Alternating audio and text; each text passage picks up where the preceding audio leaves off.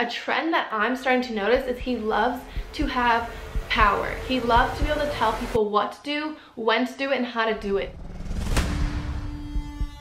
I have 20 people that I've built around me. Why does Thomas have the say to tell us what to do, how to do it, and when to do it? There's no reason why we can't be the next Kardashians. I've worked my ass off to get where I am today. We're being fucked over right now.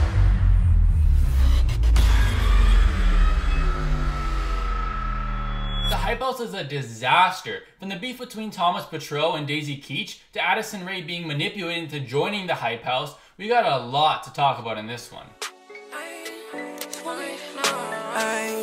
Body, I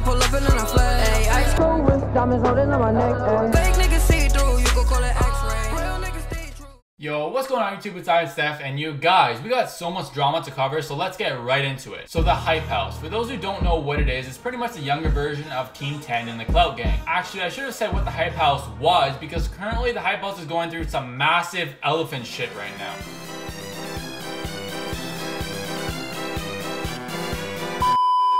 So the house was composed of famous TikTokers like Charli D'Amelio, Chase Hudson, and Addison Rae. But now many members like Daisy Keech are boycotting it due to how toxic it was. The house was co-founded by former Team 10 member Thomas Petrou, a proclaimed businessman. I'm an entrepreneur and a business person. I don't think that a house would work without someone like me. I'm very entrepreneurial, so like I think of things that nobody else thinks of. So Thomas, um, I didn't post content for like a week, and he was like, "I'm not letting you eat until you post a video." So no. yeah. So it was by force. Yeah. I mean, if starving the members of the house unless they forcibly make three TikToks a day is what you call being a good businessman, well then, hey, I guess he's doing a great job. Dixie, have you have you made a TikTok today? Have you eaten today? You better not have eaten today, Dixie. I, I, swear, I, I swear, to God, Dixie. Imagine being that low of a human being to be a 21 year old man telling an 18 year old girl that she cannot eat unless she makes a TikTok. And it doesn't matter if he said it as a joke because this is only evidence of two times that he said it, but off camera, who knows how many times he said it. When you're older, a much bigger person, and in an authority position, since you technically own the house, it really does scare the 18 year old girl and it ultimately does have some truth to it. So Daisy Keech uploaded a video onto her channel titled Truth About the Hype House. And basically she destroyed Thomas Petrou and the Hype House by calling them out on all of their bullshit. It started to feel like a fucking dictatorship in this house.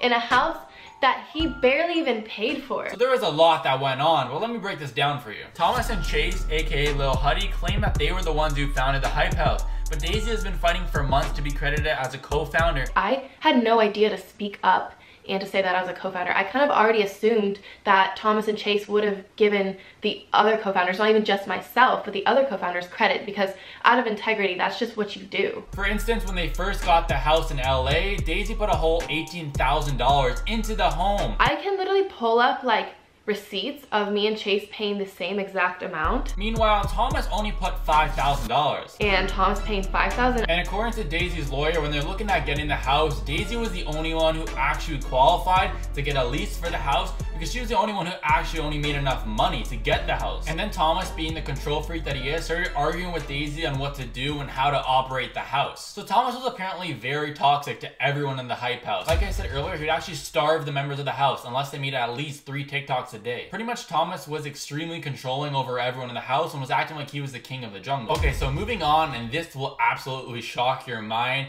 is that I was doing some research and it looks like that Thomas might have manipulated Addison Rae into joining the Hype House.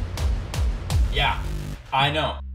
Another red flag that I noticed is he also came up to me and asked me to manipulate one of the bigger creators that was thinking about joining. And he said can't you just go act like you're her best friend? That way she wants to be a part of this. Like she needs to feel welcome and like like she has friends here. I didn't even know thomas had the heart to do that. He was asking me to do this to this girl. I'm not going to mention who because that's not my place. But after watching a james charles video with addison rae in it i began to question if addison rae was the one who was manipulated. So while james was doing her makeup she was spilling a lot of tea. And i want you guys to listen to this. I met thomas at taylor's house and he was like, hey, I have this idea about like a house and we all would live in it and like collab. And I was like, yeah, totally. I was like, what the heck is this guy talking about? Time goes by and the first Hype House photo shoot happens. And Thomas called me and said, hey, Bryant is shooting our photo shoot. And I had just shot with Bryant for my first time ever. So I went and Thomas was like, bring jeans and a white top just in case. And I was like, okay. Mm. And he was like, if you decide Smart. that you want to be in some photos with the Hype House, you can. And I was like, okay, like maybe, you know? So I got there and I ended up being like, you know what? Yeah, I'm gonna be in the pictures. I wasn't even like sure that I was committing to being in the Hype House. So as you can see, Addison wasn't even all for the hype house. She didn't even really want to join it. Now what Daisy said about this mysterious girl who was manipulated into joining the house, it sounds a lot like Addison. This would have meant that people were acting all fake and sweet, pretending to be her friend just to get her into the hype house. And the reason that Thomas wanted her to wear jeans and a white top because because the Hype House posted this picture onto their Instagram announcing the members of the Hype House. So Addison took this picture unaware of what it actually meant. And now that she was on their Instagram with all the other members of the house, she had no choice other than to join them. Now if that isn't sketchy, I don't know what is. Also, James and Addison were saying that how she was resigned into joining the house. I was in the photos and then that's when the Hype House began. It was like, you know what? That's when you, what was the word you used? resigned. Resign. That's when you resigned. That's when I resigned. As in having accepted something unpleasant that one cannot do anything about. And that goes to show how Addison truly did not want to join the Hype House, but in the end she was manipulated, so she really had no other choice but to say yes. Honestly, for someone to construct this evil plan of brainwashing, manipulating someone, through everyone acting all fake and sweet to her, people pretending to be her friend just to get her to join the house and exploit her because as we know, she is one of the most famous TikTokers at the moment. It's just really low. It, it really is. So Thomas recently made a follow-up video to Daisy's video, which is titled The Real Truth About the Hype House. Now off the bat, it automatically sounds fishy because he's making it look like everything that Daisy said in their whole 25 minute video was an absolute lie, which is not true. Even though she could have fabricated or dramatized some of the things, she definitely did not lie about all the points in it. She might have left out a few mm-hmm. things, but I'm not gonna go into full detail on Thomas's video. But honestly, some of the things that Thomas said just doesn't add up and it doesn't sound right at all. It really sounds like he's making it up. Also, why did it take Thomas a week to upload his response video? Why did it take him so long? Maybe he needed some time to come up with a convincing story. Thomas in his video does not blame himself at all. He puts all the blame on Daisy. I'm not saying that Daisy is perfect by no means because there is definitely two sides to every story but Thomas really made it seem like that it was all Daisy's fault. Because let's keep in mind that Thomas Petrou used to be in Team 10 until he was kicked out. And then, um, as of yesterday, I was fired. And the reason that he gave for being kicked out, he said there was no reason. He said he was kicked out for no reason at all. As of yesterday, I was fired for no reason. And I personally was doing a good job. The reason that I was fired was not really any reason at all. It was like a few complaints about a few things that added up, and that was the excuse to firing me. What? Bro, what are you talking about, man? Which is honestly just a load of crap because no one kicks you out for no reason. But that's Thomas Petrou for you. Now, I'm not diagnosing this guy because it's not my place to, so that's not what I'm trying to do. But Thomas does exhibit a lot of traits that resemble a narcissist. Thomas always feels like he's in the right, just like how when he got kicked out of Team 10, he said it was for no reason at all. And in his video, he's putting all the blame on to Daisy and not himself. If Daisy put this much time and money into the house and then left it because of how poorly she was treated, you know, there's definitely gotta be some truth to that.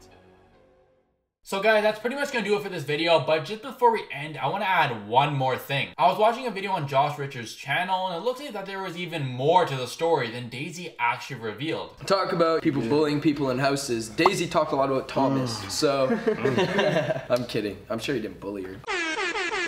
And she worded it really well. You couldn't even like argue with her. She spit facts and tea. I feel like she was holding back though. I feel like there's some stuff Oh no, that she was. She, let's move on and watch. Yeah, so judging by that and the fact that they cut it off in the middle when they were talking about it, it really does seem like there was more to the story than Daisy Keech was revealing. But hey, maybe within the next few weeks while this escalates, because it, it is only getting worse and worse, the drama is only continuing. There's a lot of legal issues surrounding this, you know, with the trademark and everything. Maybe we'll find out a little bit more eventually. This video will be at least a two-part series. I have another video planned where I'll be talking about the breakup and the potential you know, cheating scandal with Lil Huddy and Charli D'Amelio, so stick around for that. Yeah, so anyway, guys, I really hope you enjoyed this video, and if you did, be sure to leave a like and subscribe if you haven't already. Also, this spring, I will be releasing merch for the very first time, so stay tuned for that. It's really nice. Like, I'm not just saying that. It's actually really nice. I will reveal it personally. I will be wearing it on my channel this month It's probably gonna come out next month, so yeah, stay tuned for that. Also, make sure to follow me on my social media. My Instagram is Ivan Official. My TikTok is Ivan Official. My Twitter is Ivan and my Snapchat is shock underscore u 09. If you didn't catch that, I'll leave a pinned comment down below. It's also gonna be in the description box below. So yeah, follow me on my social media, stay interactive. You know, let's build a community, let's build a family. But anyway, once again, I really hope you enjoyed this video. And until next time, it's been Ivan Steff. For this hard day? Claim you don't love me yet, I'm always